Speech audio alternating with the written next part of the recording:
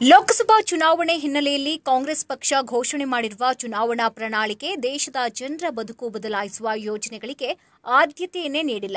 ಕಾಂಗ್ರೆಸ್ ಪ್ರಣಾಳಿಕೆ ಮತದಾರರಿಗೆ ಆಸೆ ತೋರಿಸಿ ಮೋಸ ಮಾಡಿ ಮತ ಗಿಟ್ಟಿಸಿಕೊಳ್ಳುವ ವಂಚನೆಯ ತಂತ್ರವಾಗಿದೆ ಎಂದು ಮಾಜಿ ಸಚಿವ ಸಿಟಿ ರವಿ ಆರೋಪಿಸಿದ್ದಾರೆ. ನಗರದಲ್ಲಿ ಸುದ್ದಿಗೋಷ್ಠಿ ನಡೆಸಿ ಮಾತನಾಡಿದ ಅವರು, ಪ್ರಧಾನಿ ಮೋದಿ ಘೋಷಣೆ ಮಾಡಿರುವ ಬಿಜೆಪಿ ಪ್ರಣಾಳಿಕೆಯಲ್ಲಿ ದೇಶದ ಜನರ ಬದುಕು ಬದಲಿಸುವ ಬಲ ನೀಡುವ ಗ್ಯಾರಂಟಿ ಇದೆ. ಜಿಲ್ಲೆಯ ಕಾಂಗ್ರೆಸ್ ನಾಯಕರು ಕಣ್ಣಿದ್ದು ಕುರುಡರಾಗಿದ್ದಾರೆ.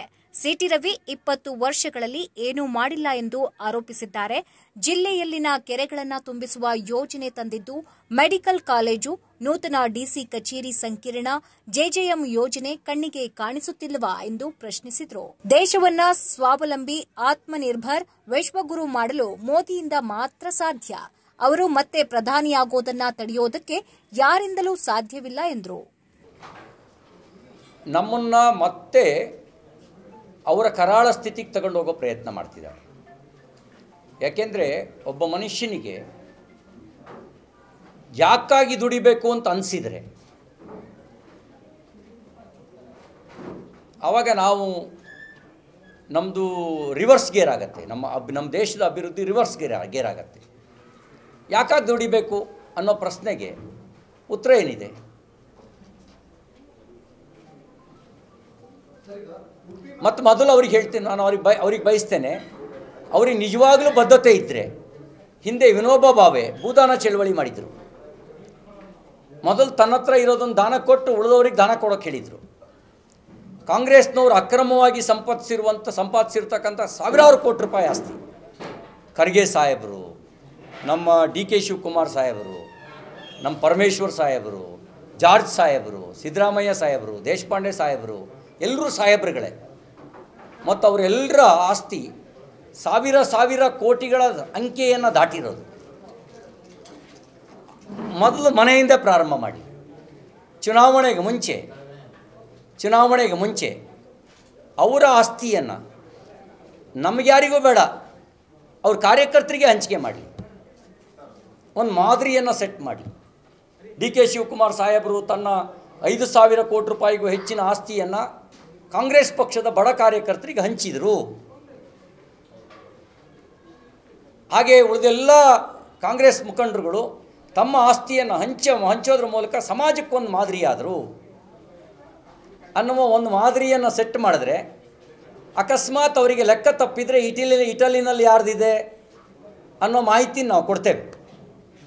ಅಲ್ಲಿಂದಲೇ ಶುರು ಮಾಡಿ. ಮತ್ತು ಒಬ್ಬೊಬ್ಬರೂ ಏಕ್ ತರಫ್ ಸೆ ಆಲೋ ಡಾಲ್ ಕರ್ಕೆ ದೂಸರಾ ತರಫ್ ಸೆ ಸೋನಾ ನಿಕಲ್ನ ಅನ್ನುವಂಥ ಸಿದ್ಧಾಂತದ ಮೇಲೆ ನಂಬಿಕೆ ಇಟ್ಟಿರೋರು ಆಲಿಗೆಡ್ಡೆ ಹಾಕಿ ಚಿನ್ನ ತೆಗೆದಿರುವಂಥ ಕಲೆ ಗೊತ್ತಿರುವಂಥ ಮಹಾನುಭಾವರು ಅದಕ್ಕೆ ಅವ್ರ ಹತ್ರ ನಾನು ವಿನಂತಿ ಮಾಡ್ತೇನೆ ನಿಮ್ಮ ಮನೆಯಿಂದಲೇ ಮೊದಲು ಪ್ರಾರಂಭ ಆಗಲಿ ಆಸ್ತಿ ಹಂಚಿಕೆ, ಕಾಂಗ್ರೆಸ್ನ ಘಟಾನುಘಟಿ ಸೋ ಕಾಲ್ಡ್ ಸಾಹೇಬ್ರುಗಳು ನಿಮ್ಮ ಆಸ್ತಿಯನ್ನು ನೀವು ನಮಗೆ ಕೊಡಬೇಡಿ ಬಿ ಜೆ ಪಿಯವರಿಗೆ ಬಿ ಜೆ ಪಿಯವರಿಗೆ ನಿಮ್ಮ ನೀವು ನೀವು ದೂರನೇ ಇಡಿ. ನಿಮ್ಮ ಬಡ ಕಾರ್ಯಕರ್ತರಿಗೆ ಹಂಚಿಕೆ ಮಾಡಿ. ನಿಮ್ಮದೇ ಪಕ್ಷದ ಬಡ ಕಾರ್ಯಕರ್ತರಿಗೆ ಹಂಚಿಕೆ ಮಾಡಿ, ಮಾದರಿಯನ್ನು ಸೆಟ್ ಮಾಡಿ. ಜನರಿಗೆ, ಮೋದಿ ಗ್ಯಾರಂಟಿ ಮುಂದೆ ಇನ್ಯಾವುದೂ ಇಲ್ಲ ಅಂತ ಬದುಕೋ ಗ್ಯಾರಂಟಿನೇ ಇಲ್ಲ ಇವರಲ್ಲಿ. ನೀವು ಹೇಳಿದ್ನಲ್ಲ ಮೋದಿ ಗ್ಯಾರಂಟಿ ಮುಂದೆ ಯಾವುದೂ ಇಲ್ಲ. ಗ್ಯಾರಂಟಿ ಏನು? ಅವರು ಅವರು ಪೇಟೆಂಟ್ ಮಾಡಿಸ್ಕೊಂಡಿದ್ದಾರ? ಅಲ್ಲ ಅವ್ರೇನು ಅವ್ರ ಅವ್ರ ಅವ್ರ ಅವ್ರದ್ದೇನ ಪೇಟೆಂಟ್ ಅದು. ಅದಕ್ಕೆ ಮುಂಚೆ ಗ್ಯಾರಂಟಿ ಅನ್ನೋ ಪದ ಬಳಕೆನೇ ಆಗ್ತಿರಲಿಲ್ಲ. ಇವರೇ ಹುಟ್ಟಾಕಿದ ಪದನ. ಗ್ಯಾರಂಟಿ ಅನ್ನೋದನ್ನು ಅವರೇ ಹುಟ್ಟಾಕಿದ ಪದನ. ಮುಂಚೆ ಏನು ಬಳಕೆಯಲ್ಲಿ ಇರಲೇ ಇಲ್ವಾ?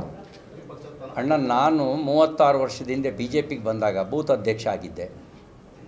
ಇವತ್ತು ಹಲವು ರಾಜ್ಯಗಳಲ್ಲಿ ಸ್ಟಾರ್ ಕ್ಯಾಂಪೈನರ್ ಆಗಿದ್ದೀನಿ. ಹಲವು ರಾಜ್ಯಗಳಲ್ಲಿ. ಹಾಗಾಗಿ ನನ್ನ ಭವಿಷ್ಯದ ಬಗ್ಗೆ ಪಾರ್ಟಿ ಯೋಚನೆ ಮಾಡುತ್ತೆ. ಪಕ್ಷದ ಬಗ್ಗೆ ಯೋಚನೆ ಮಾಡೋದು ಮಾತ್ರ ನನ್ನ ಕೆಲಸ. ಹಲವು ರಾಜ್ಯಗಳಲ್ಲಿ ಸ್ಟಾರ್ ಕ್ಯಾಂಪೈನರ್ ಆಗೋರು ಅಷ್ಟು ಲೆವೆಲಿಗೆ ಬೆಳೆಸಿದೆ ಅಂತ ಹೇಳಿದ್ರೆ ಅದಕ್ಕಿಂತ ದೊಡ್ಡ ಸಂಗತಿ ಇನ್ಯಾವುದೂ ಇಲ್ಲ.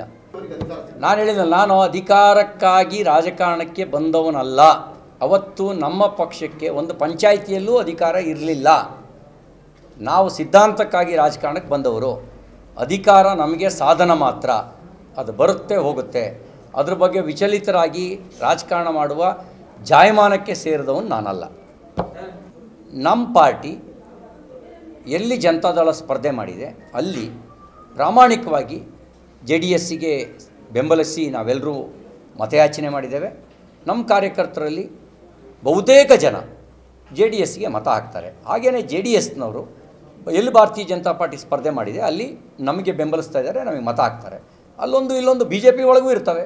ಬಿ ಜೆ ಪಿ ಒಳಗೂ ಎಲ್ಲ ಕಾರ್ಯಕರ್ತರು ಎಲ್ಲ ಕಾಲಕ್ಕೂ ಕೆಲಸ ಮಾಡಿದ್ದಾರೇನು ಮಾಡಿಲ್ಲ.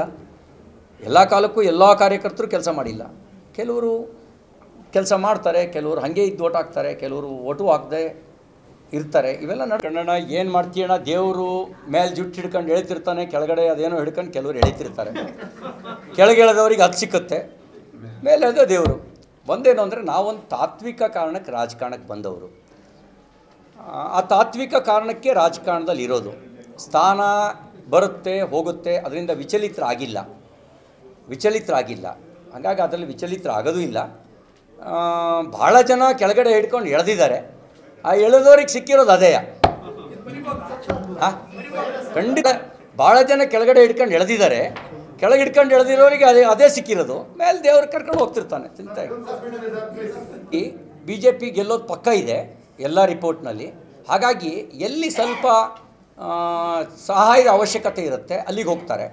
ಇಲ್ಲಿ ಪಕ್ಕ ಇದೆ. ಓ, ಅಲ್ಲ ನಾನು ನಾನು ನಾನು ನಾನು ಹೇಳ್ತಾ ಇದ್ದೀನಲ್ಲ. ನಾನು ಹೇಳ್ತಾ ಇದ್ದೀನಲ್ಲ ಕೋಟಾ ಶ್ರೀನಿವಾಸ ಪೂಜಾರಿ ಅವರು ಜನರ ಅಭ್ಯರ್ಥಿಯಾಗಿದ್ದಾರೆ. ಅವ್ರ ಗೆಲುವು ಪಕ್ಕ ಇದೆ. ಹಾಗಾಗಿ ಎಲ್ಲಿ ಸ್ವಲ್ಪ ಸಹಾಯದ ಅವಶ್ಯಕತೆ ಇದೆ ಟ್ರೆಂಡ್ ಸೆಟ್ ಮಾಡೋ ಅವಶ್ಯಕತೆ ಇದೆ ಅಲ್ಲಿ ಟ್ರೆಂಡ್ ಸೆಟ್ ಮಾಡ್ತಾರೆ. ಇಲ್ಲಿ ಮೈಂಡ್ ಸೆಟ್ಟು ಆಗಿದೆ ಟ್ರೆಂಡ್ ಸೆಟ್ಟು ಆಗಿದೆ. ಅಲ್ಲ ಅವ್ರ ಅವರ ಅವ್ರ ಅವರವರ ಭಾವಕ್ಕೆ ಅವರವರು ಯೋಚನೆ ಮಾಡ್ತಾರೆ. ಆದರೆ ನಾವು ಯೋಚ ನಮ್ಮದು ಭಾವನೆ ಏನು ಅಂದರೆ ಟ್ರೆಂಡ್ ಸೆಟ್ಟು ಮೈಂಡ್ ಸೆಟ್ಟು ಎರಡೂ ಆಗಿದೆ. ಹಾಗಾಗಿ ಇಲ್ಲಿ ಬಿ ಜೆ ಪಿ ಗೆಲುವು ಪಕ್ಕ. ಆ ಕಾರಣಕ್ಕೋಸ್ಕರನೇ ಎಲ್ಲಿ ಸ್ವಲ್ಪ ಹೆಚ್ಚಿನ ಸಹಾಯ ಬೇಕಾಗಿರುತ್ತೆ ಅಲ್ಲಿ ಹೋಗ್ತೀವಿ